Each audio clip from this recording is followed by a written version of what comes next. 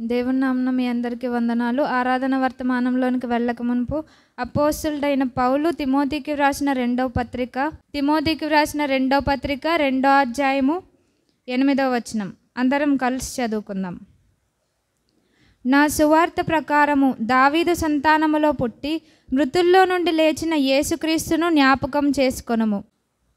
మనం చదువుకున్న వాక్య భాగంలో అపోస్తుడైన పౌలు తిమోతికి రాసిన రెండో పత్రిక రెండో అధ్యాయము ఎనిమిదవ వచనంలో నా సువార్త ప్రకారము దావీద సంతానములో పుట్టి మృతుల్లో నుండి లేచిన యేసుక్రీస్తు జ్ఞాపకం చేసుకునము. ఇది పౌలు గారు తిమోతి గారికి రాస్తున్న పత్రికలోనిదనమాట మనం జనరల్గా క్రిస్మస్ యేసుక్రీస్తు వారి పుట్టుక జ్ఞాపకం చేసుకుంటాం అలాగే శ్రమలను కూడా జ్ఞాపకం చేసుకుంటాం. అలాగే ఇక్కడ పౌలు గారు మనకు చెప్పేది ఏంటంటే మృతుల్లో నుండి లేచిన యేసుక్రీస్తు జ్ఞాపకం చేసుకొనుము అని అంటున్నారు. అంటే ఆయన పునరుద్ధానాన్ని జ్ఞాపకం చేసుకోవాలని ఇక్కడ మనకి తెలియచేస్తున్నారనమాట ఆయన పునరుద్ధానాన్ని జ్ఞాపకం చేసుకోవడం వల్ల మనకి కలిగే కృపలు లేకపోతే మన జీవితంలో మనం పొందుకునేవి ఏంటి అంటే మొదటిగా ఆయన పునరుద్ధాన బలాన్ని మనం పొందుకుంటాం అన్నమాట ఎప్పుడైతే శిష్యులు శిలవ మరణం వరకు యేసుక్రీస్తు వారిని వెంబడించారు.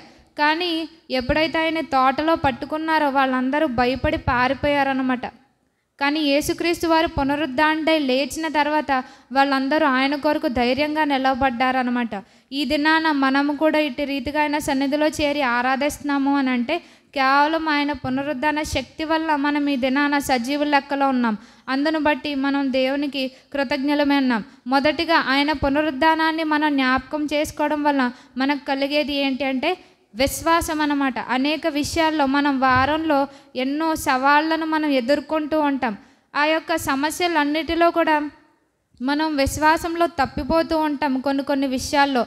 అదే అలా తప్పిపోతున్నప్పుడు మనం ఆయన పునరుద్ధానాన్ని జ్ఞాపకం చేసుకున్నప్పుడు మన విశ్వాసం బలపరచబడుతుంది అనమాట అందుకు మనకి రుజువు ఏంటంటే హెబ్రిల్కు రాసిన పత్రిక పదకొండో అధ్యాయము. హెబ్రిల్కు రాసిన పత్రిక పదకొండో అధ్యాయము. ఈ పదకొండో అధ్యాయం అంతా కూడా ఇందులో విశ్వాస వీరుల జాబితా అన్నమాట. ఎవరైతే విశ్వాసం ద్వారా నిలబడ్డారో వారందరినీ దేవుడు ఇందులో ఇన్క్లూడ్ చేశారనమాట ఈ హెబ్రిల్కు రాసిన పత్రిక పదకొండో అధ్యాయంలో మనం పదిహేడు పంతొమ్మిది వచనాలు కలిసి ఉన్నాయండి చదువుకుందాం. అబ్రహాము శోధింపబడి విశ్వాసమును బట్టి ఇస్సాకును బలిగా అర్పించెను. ఎవడు ఆ వాగ్దానములు సంతోషముతో అంగీకరించెనో? ఇస్సాకు వలనైనది నీ సంతానం అనబడిన అని ఎవరితో చెప్పబడెనో? ఆ అబ్రహాము మృతులను సహితము లేపుటకు దేవుడు శక్తిమంతుడని ఎంచిన వాడై చాలండి. అంటే అబ్రహాము గారికి యేసుక్రీస్తు వారు తెలియక మునిపే ఆయన ఈ పునరుద్ధానాన్ని నమ్మారనమాట ఏ విధంగా అంటే ఇస్సాకుని బలిగా అర్పించమన్నప్పుడు ఆయన సందేహించలేదనమాట ఎప్పుడైతే దేవుడు ఆయనకి సెలవిచ్చారో నెక్స్ట్ డే ఎర్లీ మార్నింగ్ ఆయన వెళ్ళి ఇస్సాక్ గారిని బలి అర్పించడానికి సిద్ధమయ్యారు. నిజానికైతే ఆయన బలి అర్పించలేదు కానీ దేవుడు దాన్ని ఏ విధంగా ఇక్కడ ఎంచారు కన్సిడర్ చేశారు అని అంటే విశ్వాసంను బట్టి ఇస్సాకును బలిగా అర్పించాను అని అంటున్నారు. ఆయన చేయలేదు కానీ చెయ్యని దాన్ని దేవుడు చేసినట్టుగా మనకి చెప్పారనమాట అంటే ఆయన దృష్టిలో ఆయన అర్పించినట్టే. మనము కూడా ఎప్పుడైతే అబ్రహాము గారిలాగా ఆయన పునరుద్ధానమందు నమ్మకి ఉంచుతామో మనము కూడా ఈ విధంగా నిలవబడగలమన్నమాట. ఆయన సందేహించలేదు. సో అందువల్ల ఆయన విశ్వాసం ఇంకా పెరిగింది. నెక్స్ట్ షారా గారిని తీసుకుంటే ఇదే పదకొండవ అధ్యాయంలో పదకొండవ వచనం. విశ్వాసంను బట్టి షారాయు వాగ్దానము చేసిన వాడు నమ్మదగిన వాడని ఎంచుకొనెను గనుక తాను వయసు గతించినదైనను గర్భం ధరించుటకు శక్తి పొందెను. సో ఆమె విశ్వాసం బలపరచబడింది అనమాట మనం ఎదుర్కొనే సవాళ్ళలో మనం ప్రతిదినము ఎదుర్కొనే ప్రతి విధమైన యొక్క స్ట్రగుల్స్లో ఈ యొక్క పునరుద్ధానాన్ని మనం జ్ఞాపకం చేసుకోవడం వల్ల మన విశ్వాసం బలపరచబడుతుందన్నమాట. కేవలం పునరుద్ధాన దినం మనం నామినల్గా ఆచరిస్తే వచ్చేది కాదు. ప్రతిదినము ఆయన మరణాన్ని ఏ విధంగా జ్ఞాపకం చేసుకుంటామో ఆయన పునరుద్ధానాన్ని కూడా మనం జ్ఞాపకం చేసుకోవాలన్నమాట. నెక్స్ట్ ఇంకా ఈ పునరుద్ధానాన్ని జ్ఞాపకం చేసుకోవడం వల్ల మనకు కలిగేది ఏంటి అంటే నిరీక్షణ అన్నమాట. లోకంలో చాలామందికి యేసుక్రీస్తు వారిని అంగీకరించిన వారికి లేనటువంటి నిరీక్షణ మనకందరికీ కలిగింది. రెండో కొరిందేలుకు రాసిన పత్రిక రెండో కొరందేలుకు రాసిన పత్రిక నాలుగో అధ్యాయము పద్నాలుగో వచనం. రెండో కొరందేలుకు రాసిన పత్రిక నాలుగో అధ్యాయము పద్నాలుగు పదిహేను వచనాలండి. పేజ్ నెంబర్ నూట అరవై ఒకటి. విశ్వసించితిని గనుక మాట్లాడితిని అని వ్రాయబడిన ప్రకారము అట్టి విశ్వాసముతో కూడిన ఆత్మ గలవారమై ప్రభు అయిన యేసును లేపినవాడు యేసుతో మమ్మను కూడా లేపి మీతో కూడా తన ఎదుట నిలవబెట్టునని ఎరిగి మేమును విశ్వసించున్నాము గనుక మాట్లాడుచున్నాము. సో చనిపోయిన తర్వాత మనము తిరిగి లేపబడతామనే నిరీక్షణ కేవలం ఈయన యొక్క పునరుద్ధానం వలననే మనకు కలుగుతుందన్నమాట. పౌలు గారు ఆ పత్రికల్లో మనకు చెప్తారు యేసుక్రీస్తు లేపబడకపోతే మన విశ్వాసం వ్యర్థమని. సో మనకున్న నిరీక్షణ ఏంటి అంటే మనం చనిపోయిన తర్వాత ఆయనతో కలిసి జీవిస్తాము. యుగ యుగములు ఆయన రాజ్యంలో ఉంటామని నిరీక్షణ దేవుడు మనకి ఇచ్చారనమాట అలాగే మనం కోల్పోయిన వారిని ఎవరైతే మనం ప్రభువులో కోల్పోయామో వారిని కూడా తిరిగి దేవునిలో కలుసుకుంటామనే అటువంటి గొప్ప నిరీక్షణ మనకి ఇచ్చారనమాట అంటే ఎంతటితో యేసుక్రీస్తుని అంగీకరించి ఈ లోకంలో జీవించడం వరకు మాత్రమే కాదు ఆ నిత్యత్వంలో కూడా మనకి ఆ గొప్ప కృపను దేవుడు అనుగ్రహించారనే నిరీక్షణ దేవుడు మనకి పునరుద్ధానం వల్ల మనకి ఇచ్చారనమాట అందును బట్టి ఈయన ఒక పునరుద్ధానాన్ని మనం ప్రతిదినము జ్ఞాపకం చేసుకోవాలి. మొదటిదిగా మన విశ్వాసం అనేది బలపరచబడుతుంది. రెండవదిగా మనకి నిరీక్షణ ప్రతిదినము మన నిరీక్షణ పెరుగుతూ ఉంటుంది మనకి మనం ఎదుర్కొనే పరిస్థితులను బట్టి ఒక్కొక్కసారి నిరీక్షణ కోల్పోతూ ఉంటాం. కానీ ఎప్పుడైతే ఈ యొక్క పునరుద్ధానాన్ని మనం జ్ఞాపకం చేసుకుంటామో మన నిరీక్షణ కూడా బలపరచబడుతుంది అనమాట అలాగే నెక్స్ట్ ఇంకొకటి ఏంటి అంటే రోమా పత్రిక ఎనిమిదో అధ్యాయము రోమిలకు రాసిన పత్రిక ఎనిమిదో అధ్యాయము పదకొండవ వచనం. రోమీలకు రాసిన పత్రిక ఎనిమిదో అధ్యాయము పదకొండవ వచనం పేజ్ నెంబర్ నూట ముప్పై ఎనిమిది. రోమీలకు రాసిన పత్రిక ఎనిమిదో అధ్యాయము పదకొండవ వచనం మృతుల్లో నుండి యేసును లేపిన వాని ఆత్మ మీలో నివసించిన ఎడల మృతుల్లో నుండి క్రీస్తు యేసును లేపినవాడు చావునకు లోనైన మీ శరీరములను కూడా మీలో నివసించుచున్న తన ఆత్మ ద్వారా జీవింపచేయను. సో మనం మన పాపముల ద్వారా అపరాధముల ద్వారా చచ్చిన స్థితిలో మనం ఉన్నాం మనకందరికీ తెలుసు. ఇదే రోమా పత్రికలో మన మనలో రెండు నియమాలు ఉన్నాయని పౌలు గారు చెప్పారు. ఒకటి పాప మరణం పాప మరణముల నియమం. దాని నుంచి మనలను విడిపించి ఆయన జీవంనిచ్చే ఆత్మ నియమంలో మనల్ని ఉంచారనమాట మనము ప్రతిదినము ఏదో ఒక విషయంలో పాపం చేస్తూనే ఉంటాం. ఈ లోకంలో మనం బ్రతికున్నంత కాలం యేసుక్రీస్తు వారి రక్తంలో మనం కడగబడుతున్న అనేక విషయాల్లో మనం తప్పిపోతూ ఉంటాం. పాపం చేస్తూనే ఉంటాం. కానీ ఈ పాపం నుంచి మనకి విడుదల ఇచ్చేది ఈ పాప శరీరాన్ని నుంచి ఏదైతే మన యొక్క శరీరం మనల్ని ప్రేరేపిస్తూ ఉంటుందో శరీరాశ నేత్రాశ జీవపడంబానికి గురి చేస్తూ ఉంటుందో దాన్ని మనం జయించాలి అని అంటే మన మనంతట మనకి శక్తి చాలదనమాట కేవలం ఆయన పునరుద్ధాన బలం వలన మాత్రమే మనము మన శరీరాన్ని జయించగలం అనమాట అదే ఈ రోమపత్రికలో తెలియచేస్తున్నారు. ఎప్పుడైతే ఆయన యొక్క పునరుద్ధాన బలాన్ని మనం పొందుకుంటామో ఆయన ఇచ్చే ఆత్మశక్తిని మనం పొందుకుంటామో మన శరీరంను కూడా కంట్రోల్ చేసే అటువంటి పవర్ దేవుడు మనకి ఇస్తారనమాట ఈ పునరుద్ధానం వల్ల మనకు కలిగేది అది. ఈ లోకంలో మనం జయ జీవితం జీవించాలన్నా మన శరీరాశలను జయించాలన్నా ప్రతిదినం ఆయన మరణాన్ని ఏ విధంగా జ్ఞాపకం చేసుకుంటామో మనం ప్రతిదీ కూడా అంటే కేవలం మరణం ఒక్కటే మనం జ్ఞాపకం చేసుకోవడం కాదు. ఆయన పునరుద్ధానాన్ని కూడా మనం జ్ఞాపకం చేసుకోవాలన్నమాట. మనకందరికీ తెలుసు మనం బల్లలో పాలు పొందేటప్పుడు ఆయన మరణాన్ని జ్ఞాపకం చేసుకుంటాం. కానీ మనకున్న నిరీక్షణ ఏంటంటే ఆయన తిరిగి లేచారు. సో ఆ పునరుద్ధానాన్ని కూడా మనం జ్ఞాపకం చేసుకున్నప్పుడే మన జీవితంలో ఆయన ఇచ్చే పునరుద్ధాన బలాన్ని శక్తిని మనం పొందుకోగలం అనమాట ప్రతిదినం మనం మనుషులనైనా జయించవచ్చు మన శత్రువులనైనా జయించవచ్చు కానీ మన శరీరాన్ని జయించాలంటే కేవలం ఆయన ఇచ్చే పునరుద్ధాన బలం వలన మాత్రమే మన శరీర ఆశలను మనం జయించగలం అనమాట సో ఈ యొక్క పునరుద్ధానాన్ని మనం జ్ఞాపకం చేసుకోవడం వలన మనకి కలిగేది ఏంటంటే ఆయన యొక్క శక్తిని మనం పొందుకుంటామన్నమాట. నెక్స్ట్ అలాంటి చచ్చిన స్థితిలో ఉన్న మనము మనం జీవించే స్థితిలోనికి మనం వస్తామన్నమాట. అంటే ఆయనకున్న పునరుద్ధానానికి ఉన్న శక్తి ఏంటంటే లైఫ్ గివింగ్ పవర్ అన్నమాట. చచ్చిన దాన్ని బ్రతికించే గొప్ప శక్తి కేవలమైన పునరుద్ధానానికి మాత్రమే ఉందన్నమాట. నెక్స్ట్ ఇంకొకటి ఆయన పునరుద్ధాన బలం వలన మనకు వచ్చే గొప్ప కృప ఏంటి అంటే ఫిలిప్పీలకు రాసిన పత్రిక మూడో అధ్యాయము ఫిలిప్పీలకు రాసిన పత్రిక మూడో అధ్యాయము. దీనికి రిలేటెడ్ వర్షన్ అండి ఫిలిప్పీలకు రాసిన పత్రిక మూడో అధ్యాయము ఇరవై ఒకటో వచనం. పేజ్ నెంబర్ నూట ఎనభై. సమస్తమును తనకు లోపరుచుకొన జాలిన శక్తిని బట్టి ఆయన మన దీన శరీరమును తన మహిమగల శరీరమునకు సమరూపము గల దానిగా మార్చును. సో మనం ఈ లోకంలో ఉన్నప్పుడు మన శరీరాన్ని జయించడానికి కావలసిన శక్తి అలాగిస్తారో మనము చనిపోయిన తర్వాత ఆయన మనకి ఆ మన శరీరాన్ని ఏదైతే క్షయమైన శరీరం ఉన్నదో దాన్ని అక్షయమైనదిగా దేవుడు మారుస్తారనమాట అంటే ట్రాన్స్ఫార్మింగ్ పవర్ అనేది ఆయన యొక్క పునరుద్ధానానికి ఉన్నదనమాట మన మన జీవితం కూడా ప్రతిదినము రూపాంతర స్థితిలోనికి వెళ్ళడానికి మనకి అటువంటి గొప్ప కృప దేని వలన కలుగుతుందంటే కేవలం ఆయన పునరుద్ధాన శక్తి వలన మాత్రమే మనకు కలుగుద్ది. మనకు అందరికీ పరిచయమైన వచనం రోమపత్రిక పన్నెండో అధ్యాయంలో ఉంటుంది.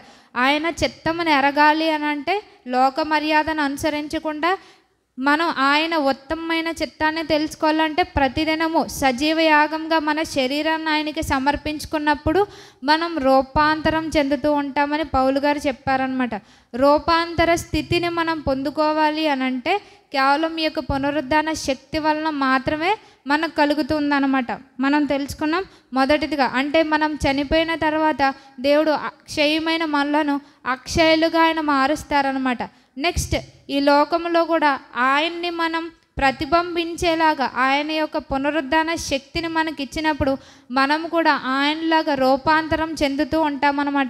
మనకందరికీ తెలిసిన వచనమే రెండో కొరిందేలకు రాసిన పత్రిక. రెండో కొరిందేలకు రాసిన పత్రిక మూడో అధ్యాయము పద్దెనిమిదవ వచనం. రెండో కొరిందేలకు రాసిన పత్రిక మూడో అధ్యాయము పద్దెనిమిదవ వచనం. పేజ్ నెంబర్ నూట అరవై. మనమందరమును ముసుగులేని ముఖముతో ప్రభు యొక్క మహిమను అద్దం వల్లే ప్రతిఫలింపచేయచ్చు. మహిమ నుండి అధిక మహిమను పొందొచ్చు. ప్రభువగా ఆత్మచేత ఆ పోలిగ్గానే మార్చబడుచున్నాం. సో మనకి దేవునికి మధ్య అడ్డంగా ఉన్నవి దేవుడు తొలగించి ఆయన స్వారూప్యంలోనికి మనలను మారుస్తారంట. ఏ విధంగా అంటే ఈయన యొక్క పునరుద్ధాన శక్తి ద్వారా మనలను ట్రాన్స్ఫామ్ చేస్తూ ఉంటారనమాట మన సో మనకి ట్రాన్స్ఫర్ అంటే తెలుసు కానీ ఈ ట్రాన్స్ఫార్మింగ్ పవర్ అంటే ఏ యేసుక్రీస్తు వారు ఏ విధంగా జీవించారో మాదిరి కలిగి మనం కూడా ఆయనలాగా జీవించడానికి మనకి కృపనిచ్చేది కేవలం ఈ యొక్క పునరుద్ధానమే. సో మనం ప్రతిదినము కూడా ఈ యొక్క పునరుద్ధానాన్ని జ్ఞాపకం చేసుకోవాలి. నెక్స్ట్ ఈయన యొక్క మనం అంటే ఫార్టీ డేస్ మనం ఆచరించాం గుడ్ ఫ్రైడే ఆచరించాం ఈస్టర్ ఆచరించాం అంతటితో దీన్ని వదిలేయకూడదు. ప్రతిదినము కూడా మనం దీన్ని జ్ఞాపకం చేసుకోవాలని పౌలు గారు చెప్తున్నారనమాట ఇంకా ఈ పునరుద్ధాన శక్తి వల్ల మనకు కలిగేది ఏంటి అని అంటే మనం ముందే చెప్పుకున్నాం గెచ్చమనే తోటలో శిష్యులంతా ఆయన్ని విడిచి పారిపోయారనమాట సిలువ దగ్గర కూడా యోహాను గారు తప్ప ఇంకెవ్వరూ లేరు. ఆయన దగ్గర నిలవబడింది. ఎప్పుడు వచ్చారు అంటే మరలా వాళ్ళు భయపడుతూ ఉంటుండగా యేసుక్రీస్తు వారు తిరిగి వారికి ప్రత్యక్షమయ్యారు. వాళ్ళు ఒక గదిలో యూదులకు మిగిలిన వారికి భయపడి ఉన్నప్పుడు ఆయన పునరుద్ధాండే లేచిన తర్వాత వాళ్ళందరికీ తిరిగి ప్రత్యక్షమయ్యారనమాట ఎప్పుడైతే వాళ్ళు ప్ర వాళ్ళకి యేసుక్రీస్తు వారు పునరుద్ధాండే తిరిగి ప్రత్యక్షమయ్యారో ఆ భయపడిన వాళ్ళంతా కూడా చాలా ధైర్యంగా నిలవబడ్డారనమాట మార్కుసు వార్త పదహారవ అధ్యాయము మార్కుసు వార్త పదహారవ అధ్యాయము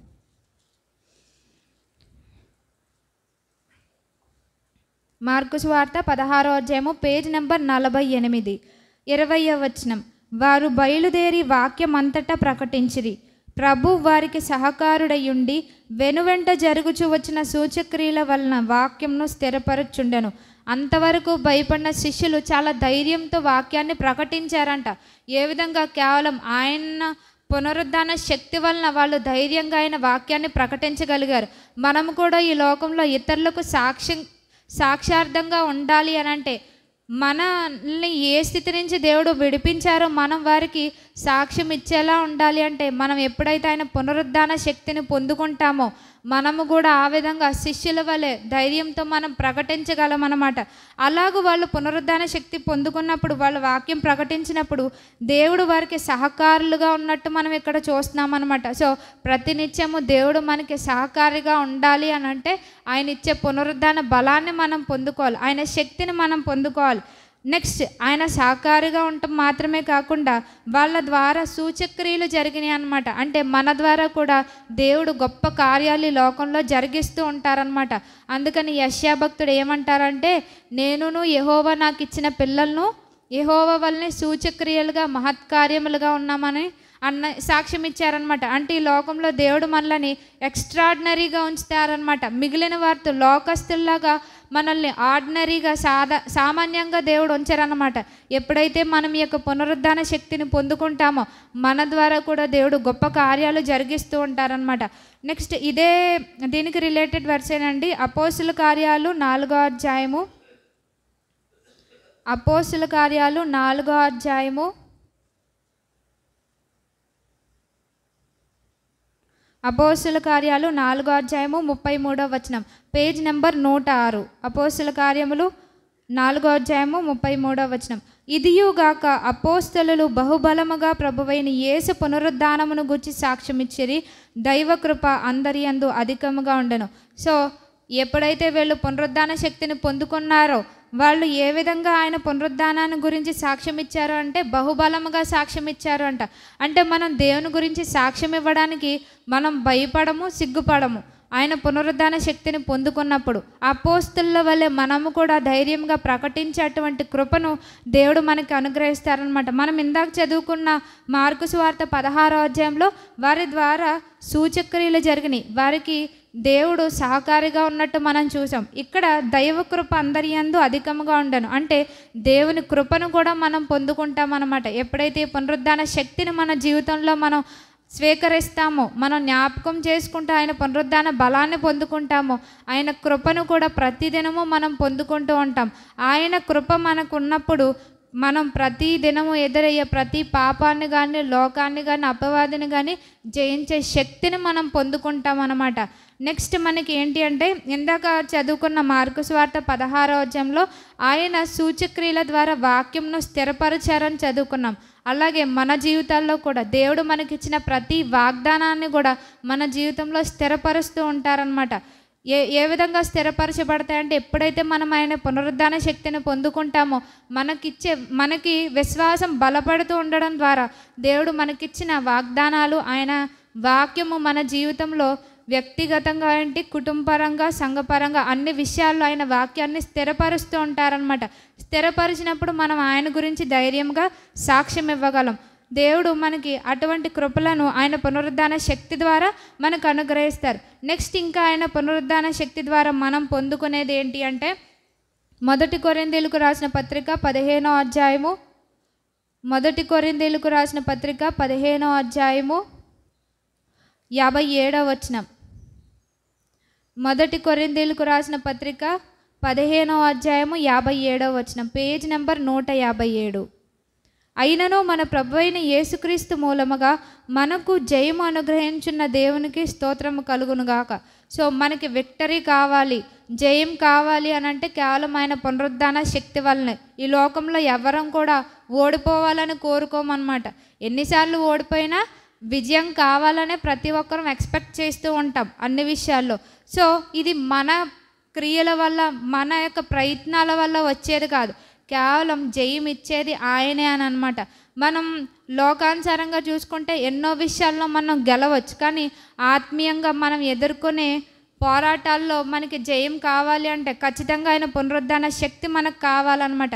ఎప్పుడైతే మనం మన ఐడెంటిటీ మన గుర్తింపు దేవునిలో ఉన్నదని మనం గుర్తిస్తామో మనము కూడా ఆయనతో పాపం విషయమై చనిపోయి పాతి పెట్టబడి ఆయన పునరుద్ధానంలో మనం పాలువారు మనం గుర్తిస్తామో మనం ప్రతిదినం ఎదుర్కొనే సవాళ్ళలో మనం జయం పొందగలం అన్నమాట మనకి తెలుసు కొన్ని ఎన్నో క్లిష్టమైన పరిస్థితులు సమస్యలు మనం ఎదుర్కొన్నప్పుడు మనకి మంచి ఆలోచన ఇచ్చేవారు చుట్టూ ఎవరు ఉండకపోవచ్చు. కానీ ఎప్పుడైతే మనం ఆయన మరణ పునరుద్ధానాలను మనం జ్ఞాపకం చేసుకుంటామో ఎప్పుడైతే జ్ఞాపకం చేసుకున్న మరుక్షణమే దేవుడు మనకి జయం ఇస్తారనమాట సో ఆ పునరుద్ధాన శక్తి వలన మనకి జయం అనుగ్రహిస్తారనమాట ఏ విధంగా అంటే అన్ని విషయాల్లో ఆత్మీయంగా శారీరకంగా మానసికంగా కూడా శత్రువుని జయించే అటువంటి గొప్ప కృపను దేవుడు మనకి పునరుద్ధాన శక్తి వలన మనకి ఇస్తారు నెక్స్ట్ మనకు అందరికీ తెలిసిన వచనమేనండి రోమిలకు రాసిన పత్రిక ఎనిమిదో అధ్యాయము రోమిలకు రాసిన పత్రిక ఎనిమిదో అధ్యాయము ముప్పై ఏడవ వచనంలో నూట ముప్పై తొమ్మిదవ పేజీ రోమిలకు రాసిన పత్రిక ఎనిమిదో అధ్యాయము ముప్పై ఏడవ వచనం. అయినను మనలను ప్రేమించిన వాని ద్వారా మనం వీటన్నిటిలో అత్యధిక విజయం పొందుచున్నాం. సో ఈయన యొక్క పునరుద్ధానం బలం వల్ల మనకి అన్ని విషయాల్లో కూడా దేవుడు విజయం అనుగ్రహిస్తారని పౌలు గారు రోమిలకు రాసిన పత్రికలో కూడా మనకి సెలవిస్తున్నారనమాట అంటే మనకి కేవలం నిరీక్షణ మాత్రమే కాదు ఈ లోకములో మనం జీవించినంత కాలం కూడా జై జీవితంను జీవించే కృపలను ఆయన పునరుద్ధాన శక్తి వల్ల మనం పొందుకుంటూ ఉంటాం. మనం చూసుకున్నాం మన విశ్వాసం బలపరచబడతాదని అలాగే మనకున్న నిరీక్షణ కూడా ఆయనలో అధికమవుతుందని అలాగే ఇంకా మన శరీరాన్ని జయించే శక్తిని దేవుడి పునరుద్ధాన బలం వల్ల మనకి ఇస్తారని తెలుసుకున్నాం. అలాగే నెక్స్ట్ నాలుగోదిగా ఏంటి అంటే ట్రాన్స్ఫార్మింగ్ పవర్ రూపాంతర యొక్క శక్తిని మన జీవితాల్లో మనం పొందుకుంటూ ఉంటాం. ప్రతిదినము కూడా ఆయన స్వారూప్యంలోనికి మార్చబడే అటువంటి శక్తి కేవలం ఆయన పునరుద్ధానం వల్ల మాత్రమే మనకు కలుగుతుంది. నెక్స్ట్ ఆయన కొరకు సాక్ష్యం ఇచ్చే అటువంటి ధైర్యమును శక్తిని దేవుడు మనకు అనుగ్రహిస్తారు. నెక్స్ట్ మన ద్వారా గొప్ప కార్యాలు దేవుడు మన జీవితంలోనూ నెక్స్ట్ మన కుటుంబంలోను మన సమాజంలోనూ దేవుడు జరిగిస్తారనమాట శిష్యులు ఏ విధంగా ప్రత్యేకంగా ఉన్నారో వాళ్ళని చూసినప్పుడు అనేక మంది అన్నారు వీళ్ళు విద్య లేని పామర్లు అని వాళ్ళ గురించి అన్నారు. కానీ నెక్స్ట్ లైన్లోనే ఏముంటుందంటే వాళ్ళు యేసుతో కూడా ఉండిన వారని గుర్తెరిగిరి అని అన్నారు. అంటే వాళ్ళకు కలిగిన ఐడెంటిటీ ఎవరి ద్వారా వచ్చిందంటే యేసుక్రీస్తు వారిని వారిని వెంబడించడం వల్ల మాత్రమే ఆ విద్య లేని పామర్లు కూడా వాళ్ళు అక్కడ ప్రత్యేకంగా ఉన్నారనమాట అందుకని వారిని ఏమన్నారంటే లోకంను తలక్రిందు చేయవారు అన్నారనమాట సో ఎప్పుడైతే లోకము కూడా మనల్ని ఆ ఆ స్థితిలో ఎప్పుడు గుర్తిస్తుందంటే ఎప్పుడైతే మనం ఆ యొక్క పునరుద్ధాన శక్తిని పొందుకుంటామో ఆ శిష్యుల వలె మనం కూడా ప్రత్యేకంగా ఉంటాం. లోకంను తలక్రిందులు చేసే అటువంటి గొప్ప కృపను ఆయన కొరకు జీవించే కృపను దేవుడు మనకు అనుగ్రహిస్తారనమాట శిష్యులు అంతవరకు నిలవబడలేదు కానీ పేతురు గారు మూడుసార్లు బొంకర్ నాకు ఈయన ఎవరో తెలియదు అని చెప్పేశారనమాట బ్లంట్గా. కానీ ఎప్పుడైతే ఆయన పునరుద్ధాండే తిరిగి ప్రత్యక్షమయ్యారో ఆయన ఆయన కొరకు నిలవబడ్డారనమాట ప్రాణం ఇవ్వడానికి ఆయన వెను తిరగలేదు. అలాగే స్టెఫన్ గారు అపోస్తులందరూ కూడా ఆ విధంగా ఆయన కొరకు హతసాక్షులైన వారే. మనకు తెలుసు అప్- పౌలు గారు క్షమించండి యోహాను గారు పద్మాసు ద్వీపంలో ఉన్న యోహాను గారు దేవుని యొక్క ప్రత్యక్షతలు పొందుకున్నారనమాట ఆయన్ని పునరుద్ధాండుగా ఆయన చూ చూపించారనమాట ప్రభువారు ఆయనకి దర్శనంలో సో మనము కూడా అటువంటి కృపలను ఈ యొక్క పునరుద్ధాన శక్తి వల్ల మనం పొందుకుంటామన్నమాట. దేవుడు అటువంటి కృపలను మనకు అందరికీ అనుగ్రహించునుగాక. ఆమెన్. మహాపరిశుద్ధుడైన మా తండ్రి ఈ దినం నాయన మీరు ఇచ్చినటువంటి శ్రేష్టమైన మాటల కొరకు మీకు ఎన్నో వందనములు. ప్రతిదినము కూడా నాయన తండ్రి మీ యొక్క పునరుద్ధానాన్ని జ్ఞాపకం చేసుకొంచు. ఏ ఏ విషయంలో నాయన మేము చచ్చిన స్థితిలో ఉన్నాము వాటన్నిటిలో నాయన జీవాన్ని పొందడానికి కృపలను దయచేయండి. మరి మాకు ఎదుర్కొనే సవాళ్ళలో నాయన తండ్రి ఎదుర్కొనే శోధనలలో మేము పడిపోకుండా ప్రభా మరి పాపం చేయకుండానట్లు జై జీవితం జీవించినట్లు మీరు ఇచ్చే పునరుద్ధానాన్ని పొందుకున్నట్లు నాయన మా మరణ పర్యంతం వరకు మీ కొరకు శిష్యుల వల్లే నిలబడడానికి అటువంటి కృపలను నాకు చేరవచ్చిన ప్రతి ఒక్క ఒక్కరికి మీరు అనుగ్రహించమని యేసుక్రీస్తు వారి శ్రేష్టమైన నామంలో స్తుతించి ప్రార్థించి వేడుకొంచున్నాం తండ్రి. ఆమెన్.